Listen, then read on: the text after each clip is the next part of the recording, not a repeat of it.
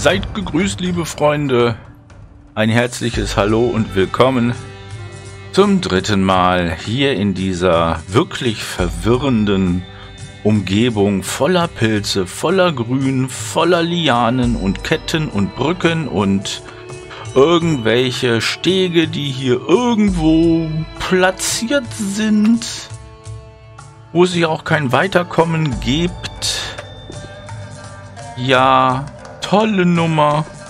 Weiß nicht, wie ich da jetzt irgendwie zu einem Ende kommen soll oder ein Ausgang oder ich weiß auch gar nicht, was man hier finden sollte oder kann. Da steht überhaupt nichts. Ich bin ja hier runtergekommen. Nee, ich bin von da aus gekommen. Richtig, da war ja dieser kleine braune Steinvorsprung. Dann gehen wir mal hier weiter hoch. Also, da ich, bin ich mit mir am Hadern, wie ich das Ganze jetzt mache. Ob ich das alles hier im Off spiele und dann irgend äh, für mich jetzt äh, das Ganze mache und dann irgendwie was suche oder finde und dann sagen, hey Leute, ich habe hier das und das gefunden. Also jetzt nicht irgendwelche Golems oder sonst irgendwas, sondern mal wirklich mal was Bahnbrechendes. Also was hier auch hier aus dieser grünen Hölle hier rausführt. Äh, Weil das ist, äh, das ist jetzt, ist sehr komisch ist das. Also, wie schon gesagt, oh nee. Oh, ein Glück. Das ist für mich, apropos nach unten fallen. Vielleicht sollte ich das mal machen, weil in einer Folge habe ich nämlich gesehen, dass man an der Wand irgendwie so hochkommt. Und ich glaube, das mache ich jetzt auch. Blutfliegenspruch und dann runter und dann irgendwie da mal gucken. Also, ja, von den drei Blutfliegen-Sprüchen geht jetzt einer wieder drauf. Und äh, ich komme hier einfach nicht weiter. Also, wie schon gesagt, ich mache folgendes. Butsch bin ich jetzt äh, schöne, leckere Blutfliege. Ich sumse so vor mich hin. So, da geht es ja nicht weiter. Komme ich hier irgendwie... Dann ist auch hier irgendwie schneller und das sieht auch irgendwie smoother aus. Aber könnte ich jetzt irgendwie auf so eine Zwischenstation kommen? Das wäre natürlich viel besser. Oh, ja, okay, gut, okay, da war, bin ich ja auch von gekommen. So, jetzt bin ich hier. Bin zwar hart aufgekommen, aber äh, das macht ihm keinen, keinen Abbruch. So, jetzt gibt es ja irgendwo diese Spiralsäulen, die zwei, die nebeneinander stehen. Ich meinte, dass die hier in dem... Uah, gut, okay, muss alles noch einrennen in dem Bereich sind. Also, seht ihr, wie riesig das ist? Wenn ich mir das mal so angucke, das ist weitläufig. Das ist sehr weitläufig. So. Also, ich habe mir gesagt, gehst jetzt erstmal hier so, hältst dich linker Hand und äh, schaust dann, wo dann dann da dieser Aufgang ist. So. Kann man eigentlich als Blutfliege auch äh, Loot erkennen? Aber ich habe hier eigentlich alles so gut wie abgelootet. So, wo war denn jetzt nochmal dieser... Ach ja, wir drehen uns im Kreis. Ist es. Genau, das hatte ich ja mal vor einer oder zwei Folgen gesehen. Schwupps. So, und jetzt habe ich automatisch wieder eine längere Waffe. Das hat den Vorteil, ich wollte dich hier machen, dass ich dann die Fleischwanzen, falls ich es noch entdecken sollte. Ich glaube, das Ding hat sogar mehr Reichweite. Danke, Erlon, für deinen Tipp. Das kurze Waffe die Fleischwanzen nicht so schnell zum Treffen bringen. Treffen sind. Wegen der kurzen Range. Okay, das ist jetzt hier ein neuer Pfad, den ich hier ähm, bestreite, beschreite, besser gesagt. Okay. Nix. Gut, und außerdem diese vielen Riesenpflanzen. Die sind ja auch sowas von... Oh, da haben wir zum Beispiel wieder was. Zum Beispiel eine Fleischschwanze und einen kleinen Waldgolem. Mal speichern und mal was laden. Gut. Werden wir mal gucken. Opfer. Da ist er ja schon. Okay.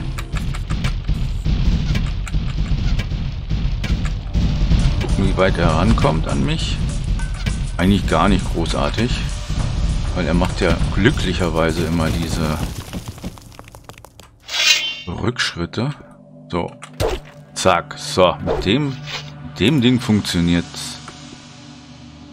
Dem Ding funktioniert's doch wunderbar. So, weit ich das... Ach, da haben wir noch einen Kristallgolem. Ja, könnte ich den eigentlich auch mit dem Ding hier... Na, speichern wir mal. Was ich als Tipp auch noch hier mit, gerade für diese Dings, äh, für dieses Areal... Äh, oh, das Ding bringt ja gar nichts an. Okay.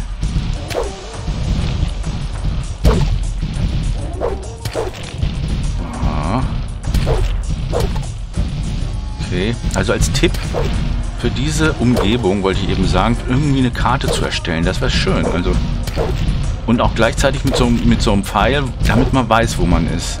Also wie schon gesagt, es ist absolut unmöglich, sich... Komm, komm, komm, ich habe doch noch ein paar Schläge. Es ist absolut unmöglich, sich hier ordentlich zu orientieren.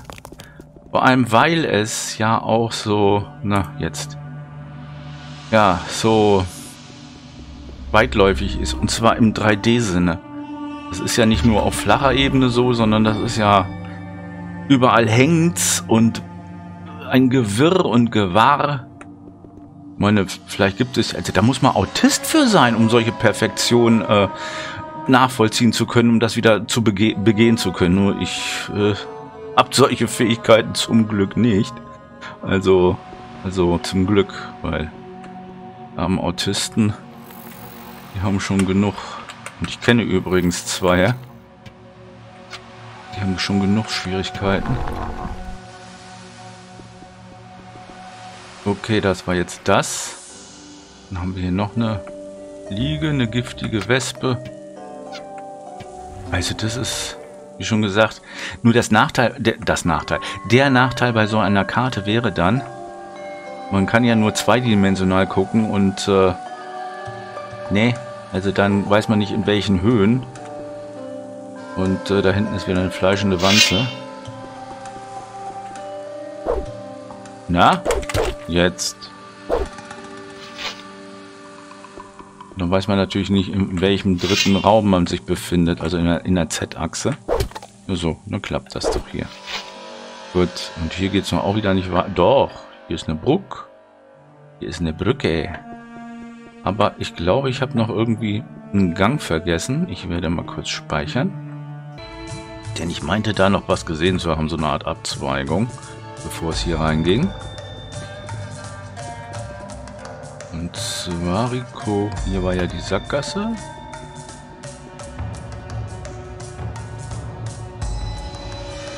zwar ging es ja hier noch hoch. Ja, okay, das ist ein bisschen auch wieder weitläufig. Gut, dann gucken wir mal, wo wir da bei den Brücken da hinkommen. Boah, ey. Also wie schon gesagt, wenn ich hier... Schreibt mir bitte in die Kommentare, was ist hier an diesem Ort so besonders? Das würde mich mal interessieren. Außer dass es hier, dass ich mich immer hier nun verlaufe. Wo war denn das jetzt mit den Brücken? Da war doch was hier mit Brücken und so. Pilze. Da. Hier. Und dann ist das auch noch alles so gleichfarbig. Okay, bis hierhin. So, dele. Und oh, da hätte man glatt runterfallen können. So, auch hier geht es nicht weiter. Da müsste man hier rüber springen. Habe ich mal die Musik mal wieder ein bisschen angemacht. So, komm rüber. Wunderbar. Ähm. So, und jetzt sind wir wieder an der Stelle, wo ich der Meinung bin, dass ich von da drüben, ja, hier rüber auf das Ding gesprungen bin. Und jetzt haben wir wieder das Ding. Also sind wir so rumgegangen. Ja, okay. Dann, ah, dann weiß ich, wie ich das mache. Okay. Manometer.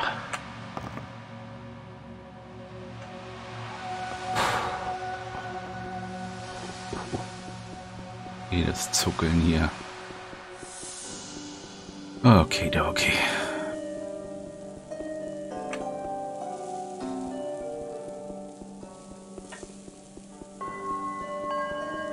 So, also. Hier hoch. Oh nee, ne? Das sieht ja wieder nach Sackgasse aus.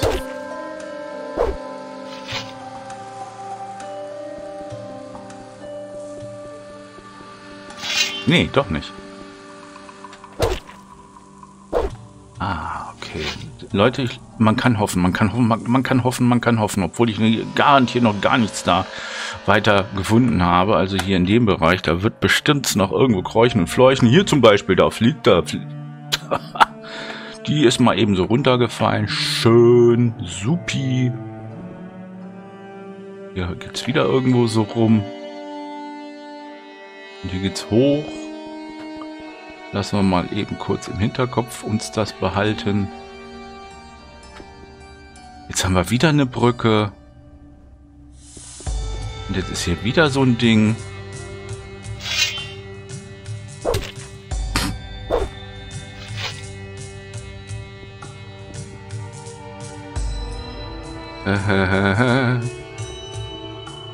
Ja, wahrscheinlich bin ich auch ein bisschen zu linear. Also so lineare Sp äh, äh, Spiele gewöhnt. So die, wo es wirklich nur einen Weg gibt. Ah, shit. So, jetzt. So aus den frühen 80ern, 90ern. Ach, da hinten ist noch eine.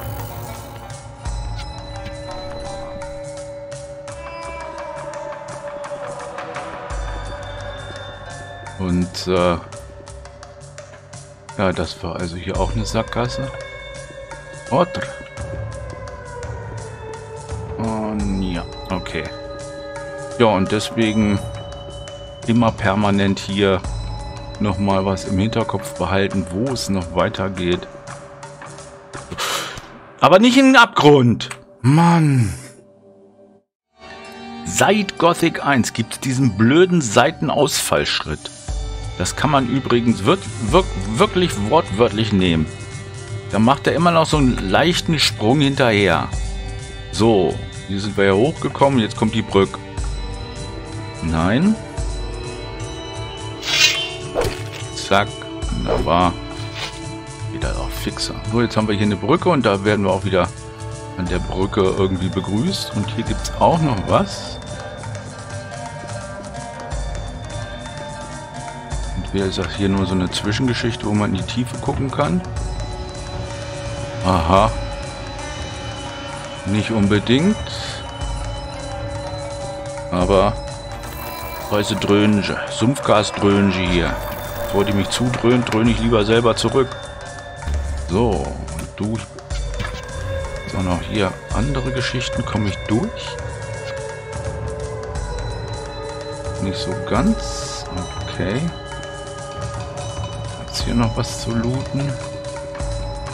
Warte mal, ich gehe mal ein bisschen mit der Kamera zurück.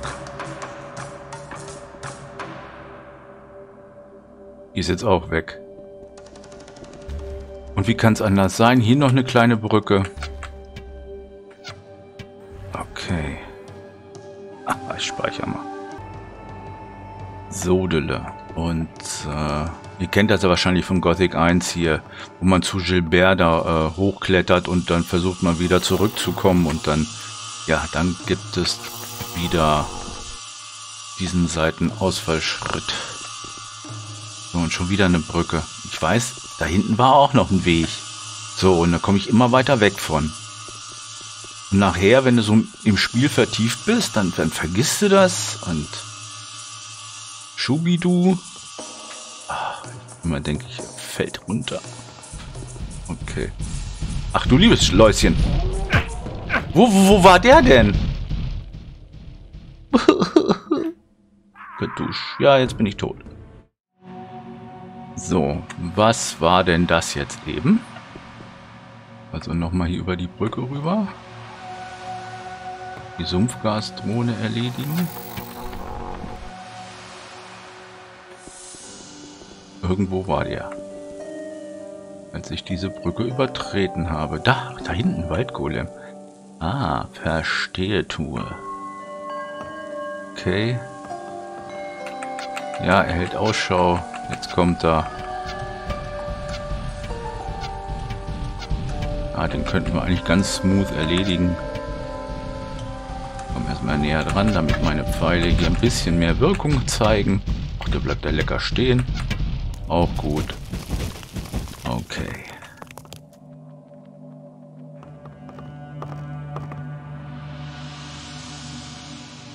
Schauen wir mal, was es hier gibt. Hier gibt es wieder so eine Brücke darüber. Ja, ja, ja, ja. Und hier gibt es wieder eine Leiter. Ähm, ja, so kommt man natürlich immer vom Weg ab. Vor allem, wenn man so einer ist, der wirklich alle Ecken und Enden durchsuchen möchte, so wie ich.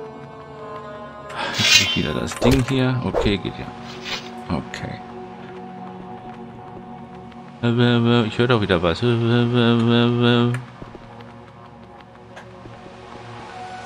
Heißt also, über mir ist was. Zeit zu speichern. Und wie ich anfangs schon sagte, ich habe ja gehadert damit, dass ich, dass ich, äh, okay, das im Off machen möchte, aber nur unter der Bedingung, sobald es hier noch zu langweilig wird für, für einige von euch eventuell.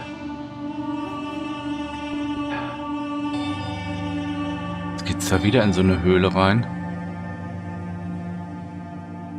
Aber ich habe mir gedacht, doch, nimmst noch einmal auf. Also hier das dritte.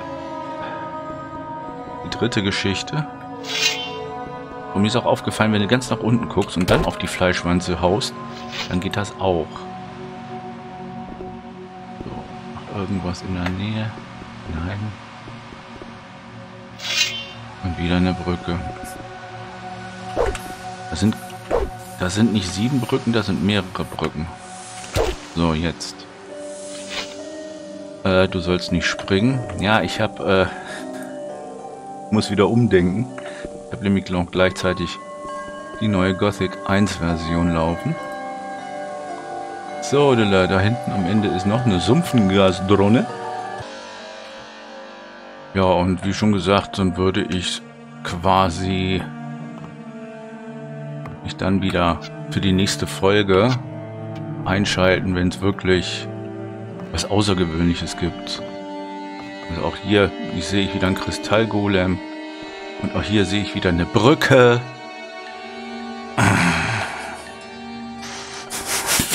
Sorry, jetzt kommt er wieder an. Hier, mit der Banditenachs kann ich den ja wunderbar plätten hier. Clever. Speichern. Ach ja. Was kommt hier wieder ums Eck? Geht's da wieder rüber?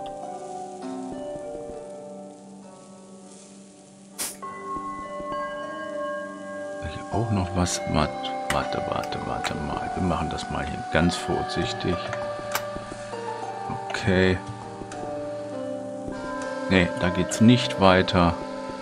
Und auch dieses Gewabere von diesen Pilzsporen. Übelst. Echt übelst. So.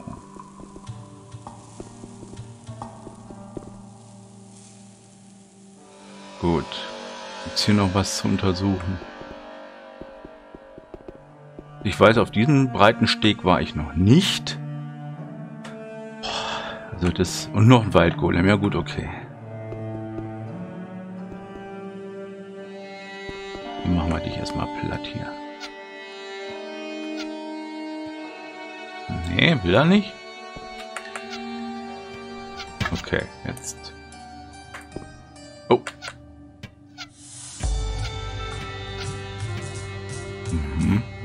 Dann nicht. Wo ist die Fleischwanze? Hinter mir?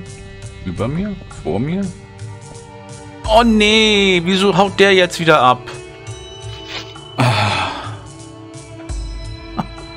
Er hat mich... Ach, hier ist er. Ich sehe sie nicht. Wahrscheinlich unsichtbar. Hä? Okay, hier gab es wohl einen Fehler.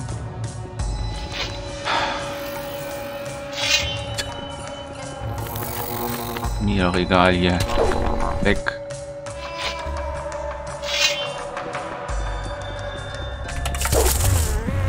futsch. Und noch ein Kristallgolem. Ja. Aber mal in die Richtung. Und noch eine sichtbare Fleischwanze. Zack. So.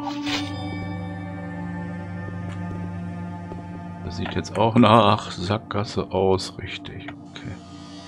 Ja, ich habe jetzt hier, glaube ich, drei, vier Brücken im Hinterkopf und ich weiß, dass ich nicht so weit kommen werde. So. Äh, wieso zerbröselt der Kristall da hinten? Warte mal. Ja, ja, nee, nee, nee. Ist mir klar.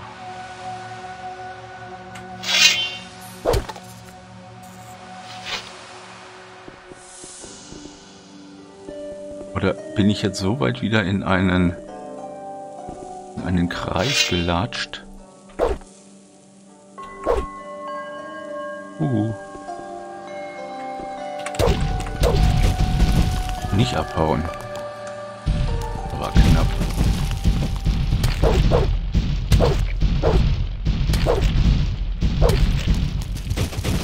Okay. Gut auch noch, zack, weiter gucken. Ist bestimmt End of, End of Line, richtig. Also ich hatte ja schon erwähnt, wer das hier kreiert hat, gebaut hat, der hat wirklich wahrlich... Da ist ja wieder jemand. Der hat ja wahrlich irgendwie... Er hat, der war gut drauf. Hi oder so. Aber natürlich nicht von Drogen. Gut, Waldgolem, bist du derjenige, der eben runtergefallen ist? Wie bist du denn so schnell hochgekommen?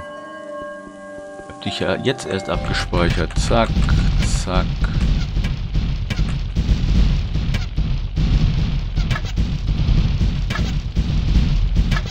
Ja, siehst du? Okay. Okay. Dann hätten wir das Areal, diese Ebene auch durch. Schade, ich wünschte mir, ich habe es ausprobiert im Off. Ich könnte hier eine brennende Fackel hier hinlegen, so nach dem Motto, dass ich vom Weiten sehen kann. So, hier warst du schon mal. Aber beim Abspeichern oder Neuladen ist diese Fackel dann weg. Das ist schade. Sowas müsste man eigentlich noch überhaupt speziell für Gothic nochmal einbauen. So meine, meine Idee. Okay.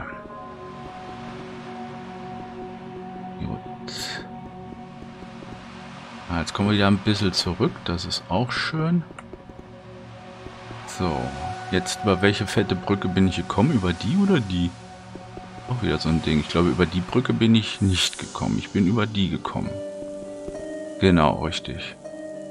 Dann, dann müsste hier so ein kleiner Absatz sein, über die ich... Ja, genau. Äh, ja, obwohl die hat auch einen Absatz.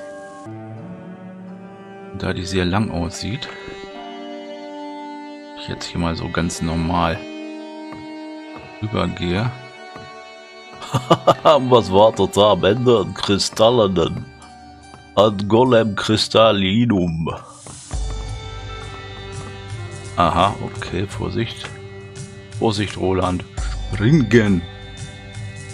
So. Dann können wir. Ah, der kommt auch noch. Der, der haut, der haut doch ab. Sehr gefährliche Geschichte, den hier auf der Brücke zu natzen, aber ich habe es noch geschafft. Den hätte er mich getroffen, dann wäre ich wieder voll hier runter gedotzt. Oh, oh. Da bleibe ich da an so einem Absatz hängen. Nein. Ich habe aber noch gar nicht alles untersucht. Die Musik ist ausgegangen. Die Textur hat sich hier geändert. Heißt das, dass es heißt, was ich denke, dass es heißt? Das werden wir gleich sehen, liebe Freunde. Wie viele Minuten? 24.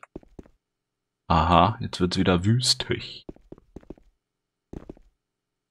Äh. Äh. Ja. Was zum Geier ist das hier von Gebilde?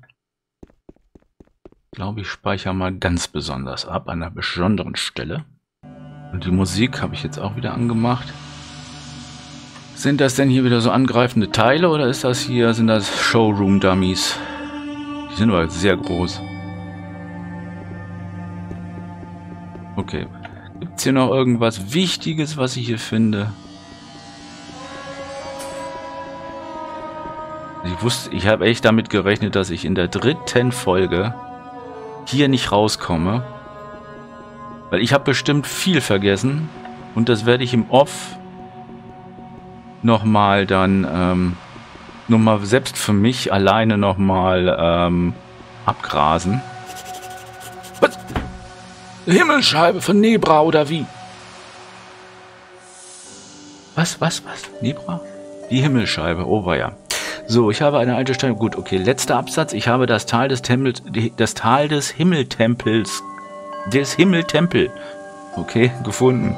Doch ich bin alleine hier. Die Diener Belias sind ebenfalls schon im Tal und befinden sich im Kampf mit den Wächtern Adanos. Hoffentlich komme ich nicht zu spät. Die Himmelscheibe darf nicht in die Hände des Feindes gelangen. So, wie sieht's denn eigentlich mit meiner Trankgeschichte aus? Ha ha ha ha ha. Und hier essenstechnisch nicht mehr so viele Suppen und sowas eigentlich gar nicht. Aber gut, okay. Ansonsten muss ich notfalls hier noch ein paar Kräutertjes oder Fleische essen. Ich habe hier noch ein bisschen was, was ich auch brennen kann. Brennen kann. Grillen natürlich. Oh. So, Leute, ich glaube, jetzt wird es echt mal interessant. Da unten sind ja die, diese bösen Wüsten, Wüsten, Wüsten, Wüsten-Dinger da?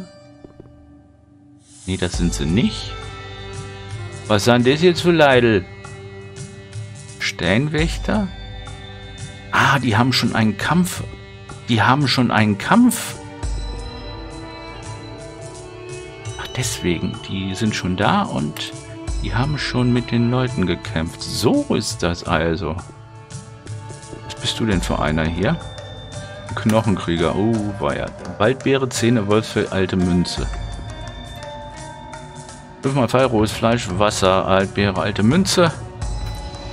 So, und du hattest nun... Ja, die Steinwächter haben nur alte Münzen hier. Oh, war ja. Also für die Leute, die das schon kennen...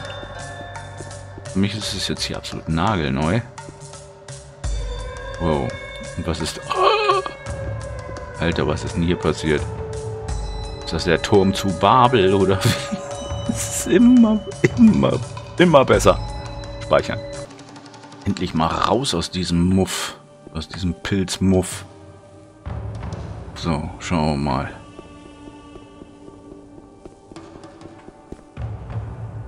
Ich denn hier irgendwie noch was?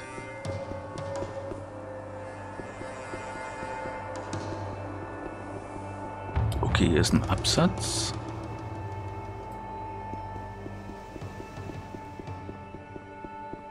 Hier ist die Textur ziemlich grob.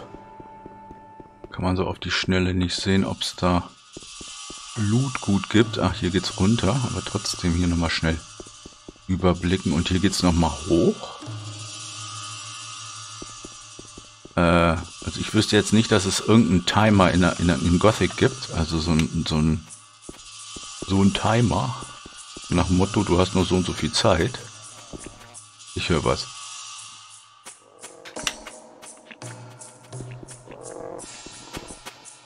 Ah, okay, das sind Scavies. Und was bist du da hinten für ein Heinz? Das sieht aus wie ein Löwe. Ein Urlöwe sogar. Leute. Wie so eine Art Säbelzahntiger. Oh. Speicher nochmal. Dann gucken wir mal, wie wir an den Urlöwen rankommen.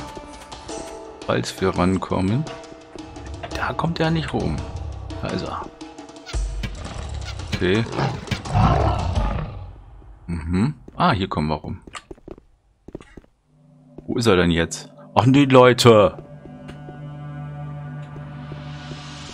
Jetzt hat sie ihn weggeklippt. Das mag ich jetzt so nicht. Okay, nochmal noch ein Versuch. So, da ist er wieder. So. So, dann kann er da irgendwie nicht runterfallen oder sowas. Treffe ihn trotzdem nicht. Ach so, weil das ein bisschen... Alter.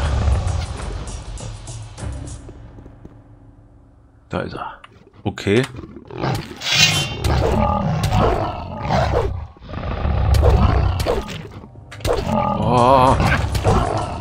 Urlöwe. Mach, dass du zurück in den Urwald kommst. so, vier Krallen Löwenfell, zweimal zehn. Ich habe ein bisschen Blut verloren. Ich werde mich dann äh, wieder frisch machen für, für die nächste Folge in der nächsten Woche und schaut euch diesen Anblick an. Und ich muss ehrlich sagen, ich bin echt glücklich, dass ich aus der grünen Hölle erstmal raus bin. Aber ich werde die nochmal im Off ähm, nochmal gründlichst durchsuchen und äh, darüber berichten in der nächsten Folge. Dank für euer Zusehen und äh, habt einen schönen Tag noch. Macht's gut. Tschüss.